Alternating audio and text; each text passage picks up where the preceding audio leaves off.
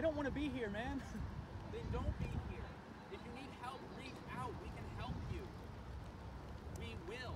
I promise.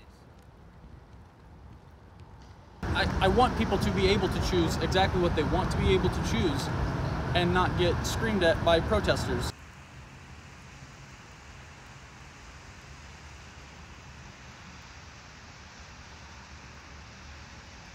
My girlfriend the whole way here was literally only nervous about protesters. What is this helping?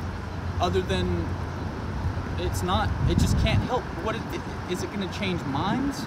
Is it going to scare people away?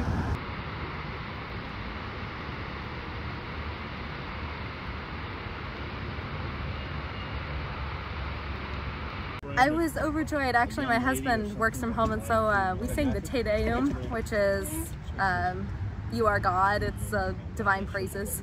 As soon as we found out.